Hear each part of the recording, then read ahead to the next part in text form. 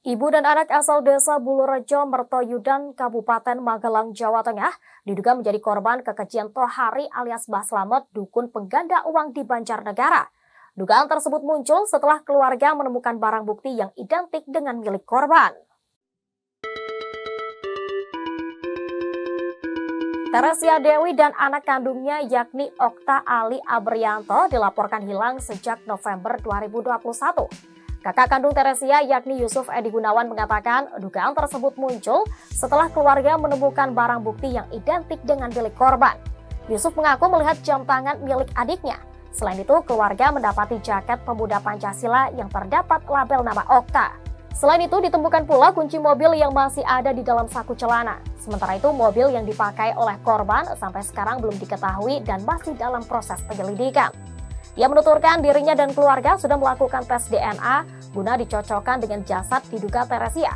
Sedangkan jasad diduga Okta bakal dicocokkan dengan DNA milik ayah kandungnya. Yusuf menjelaskan adiknya merupakan seorang kontraktor.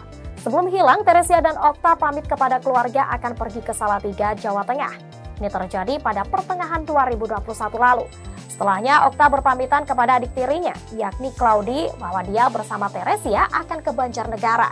Di sana mereka mengaku ingin mengambil uang dan ibu serta anak tersebut pergi ke Banjarnegara menggunakan mobil Honda Mobilio. Namun beberapa waktu kemudian keluarga tidak bisa menghubungi Teresia maupun Okta. Lantaran Teresia dan Okta tidak ada kabar, keluarga pun melakukan upaya pencarian tetapi tidak berhasil. Kini dengan mencuatnya kasus pembunuhan yang dilakukan dukun pengganda uang Banjarnegara, Yusuf selalu memantau setiap perkembangan kasus itu. Hingga kini diketahui terdapat 12 orang yang menjadi korban bah selamat. Empat di antaranya sudah berhasil diidentifikasi. Seluruh jasad korban ditemukan terkubur di kebun milik Tohari di Desa Balung, Kecamatan Wanayasa, Banjarnegara.